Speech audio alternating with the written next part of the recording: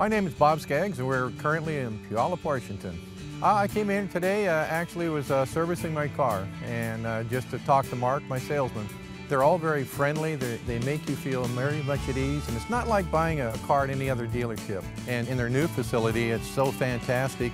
It's beautiful, it's bright, it's airy, a lot of cars on their showroom. These guys go the extra mile to make you feel comfortable here.